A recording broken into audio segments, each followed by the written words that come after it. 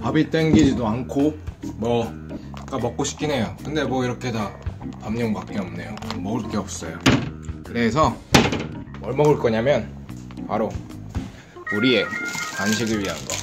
핫브레이크를 먹을 생각입니다. 이런 거 간식을 영어로 뭐라고 하죠? 스낵이라 그러죠. 그래서 약간 출출한 거 엄청나게 막 끼니를 챙기고 싶진 않은데 그냥 있잖아요 간식이 땡기는 거 그럼 어떻게 말할 수 있을까요?